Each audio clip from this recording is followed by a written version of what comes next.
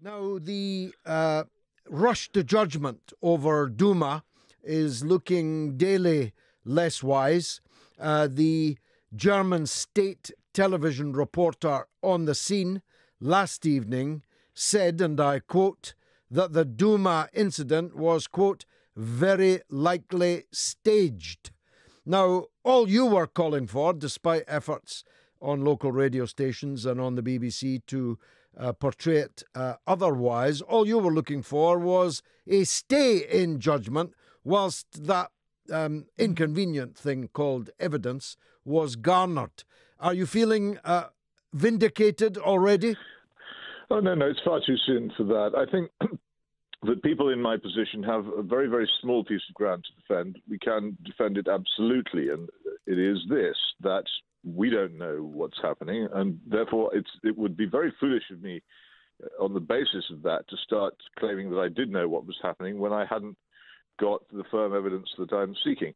It, it is and remains the case that if uh, independent inspectors and proper independently gathered uh, evidence with the, with properly tight and regulated chains of custody uh, do conclude uh, that there was a chemical weapons attack and that there is then evidence which shows that it was conducted by the Assad state, then I will I will immediately uh, concede that this is so. Uh, but that does no damage to my position, which was always that we should wait to find out uh, whether it was so before we acted. And once we do know that it's so, then we can discuss what action we could take. I found also that it was quite often the case with those who were urging immediate action. They said, "Well, would you agree with the with the action that was taken?" I said, "Well, not necessarily, because if if you really are outraged against the killing of civilians in warfare, and quite a, as a matter of fact, I am." Uh, then it seems to me that hurling high explosive into populated areas is not necessarily a good moral lesson uh, to correct this sort of behavior in future. So it, it, it's neither necessary to accept that the thing happened without evidence, nor is it necessary to accept that the action taken by the, the Trump government was the right action, even if it had been so. I'll What stick to would- that. yeah, if, no. I start, if I start saying on the basis of, of, of one German television report or whatever it might be that, oh, yes, I've been vindicated, then I, I, would- I think I'd show the same lack of, of, of patience for, for proper evidence that other people have been showing in the other direction. No, no, I meant vindication in the call I to yeah, wait. no, I, I, I don't think this, the, the only the only vindication would come in, the, in, in some kind of absolute establishment that, that the event had not taken place or had been staged. And I think we're a very, very long way uh, from from anything of that nature. Why do you think uh, there was this uh, rush? Because I'm a, a rougher fellow than you. Uh, I think the rush is itself evidence uh, that they did not want to wait for evidence because evidence there was none. I'm more sure about that than you are. So tell me why you think they, with before the uh, experts from the OPCW even arrived on the scene, they had held a trial, found the accused guilty, and carried out their sentence. Well, I think there is a, a general uh, a general desire for a new conflict among the uh, what you might call the military-industrial political complex uh, in Western countries at the moment. Uh, it has to do with several things, but fundamentally it has to do with the great, the close relationship which both the United States and Britain, and indeed France, have with Saudi Arabia, with Saudi Arabia's conflict with Iran, and with the quite likely forthcoming conflict between Saudi Arabia and Iran, which will drag a large part of the Middle East in behind it and quite possibly drag Europe in too. And I do feel rather strongly that there are people who desire this. Uh, there are a lot of other things going on apart from uh, the, the the battle between the Assad state and the uh, and the Islam, Islamist rebels against it. Even in Syria, for instance, the recent attack by Israel uh, on a base in Syria appears to have had a lot more to do with the Iranian Revolutionary Guard uh, trying to set up air defenses for its own units, which are now based in Syria, which Israel much dislikes, uh, understandably. And the the widening of the conflict into, into a more general war seems to have quite a lot to do with this, and the also the, the getting the public used to the possibility of war, of course, is always most easily done by engaging the public's best instincts and saying, well, of course, these people are committing atrocities. We must stop them, even if this isn't really the reason for the war at all. And then creates a war which creates still more, far more atrocities. Well, a good example being Iraq. Why, this is one of the reasons why atrocity propaganda is, is, is, is so absurd in itself. If you don't like atrocities, don't start wars because wars will, I'm afraid, inevitably produce atrocities on both sides. They just do. And it's, it's foolish to pretend or imagine that this will not be the case.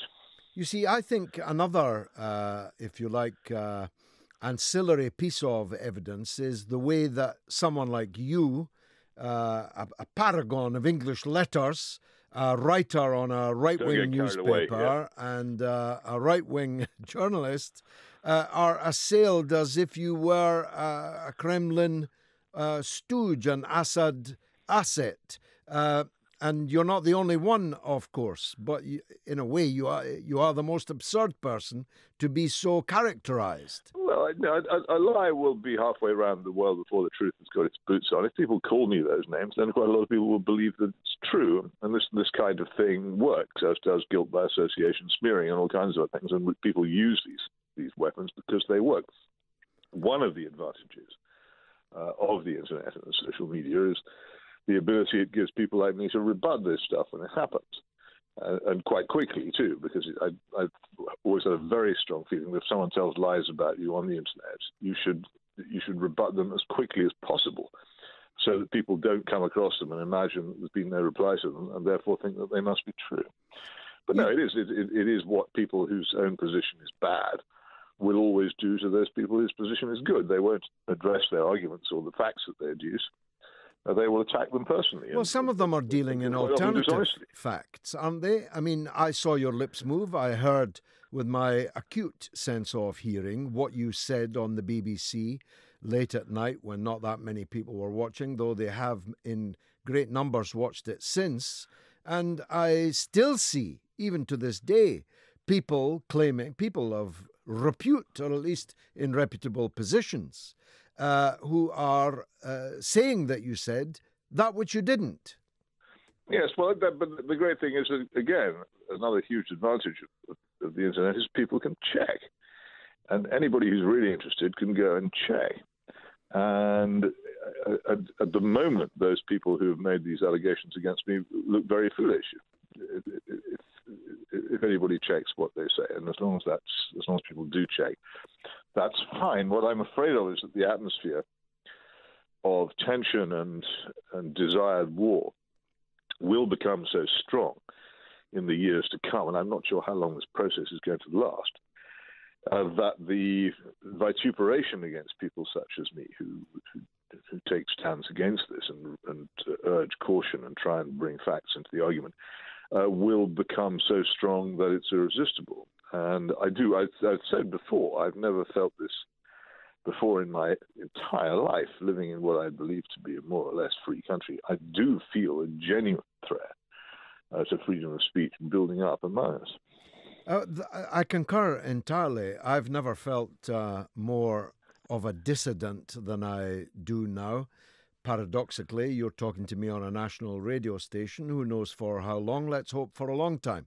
Uh, you have your uh, place in the firmament. I have mine, but for how much longer? And are people being closed down uh, at the edges? I ask myself. I haven't. Well, of course, another reason for behaving like this towards people like me and, and, and making our lives less pleasant and less comfortable by by telling untruths about us, which some people will then believe, is that others who are thinking of perhaps joining in, in the, the, the rather small chorus of, of those who say, look, do you think we might have some facts? And do, do, you not think the usual rule of a trial is evidence first, verdict second, and sentence third, rather than the other way around?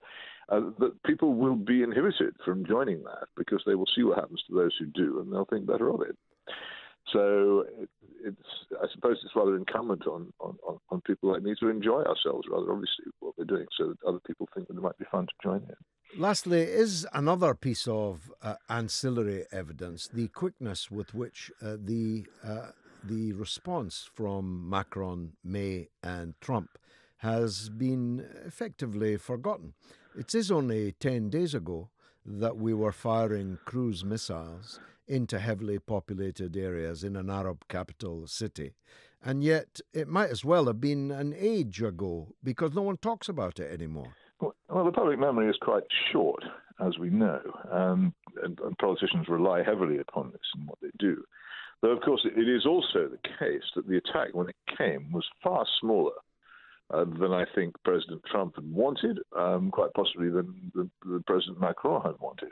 Uh, there wasn't much Britain could do because, on my judgment of Britain's performance in this, it was very, very limited by the, the, very poor state, particularly of the Navy which has ships which are equipped to carry cruise missiles, but which have never been fitted with them, for instance, and therefore couldn't couldn't join in with the gusto of French had.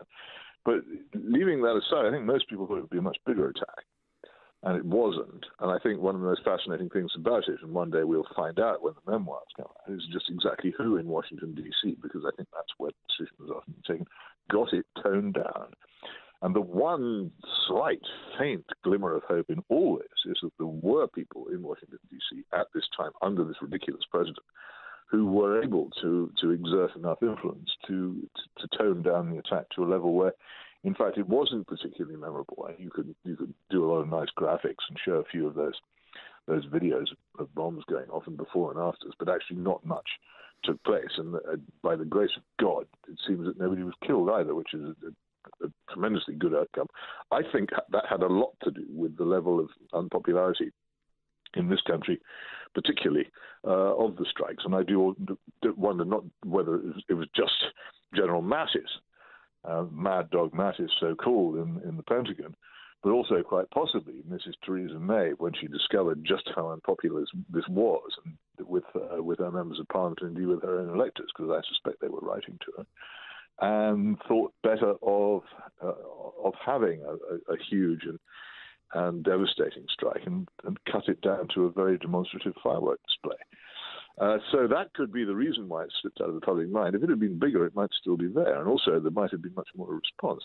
And we we just the problem had, was always going to be the danger of an accidental clash with the Russian uh, with the Russian armed forces in the area, and that that could have led to completely unstoppable avalanches of reaction and counter reaction.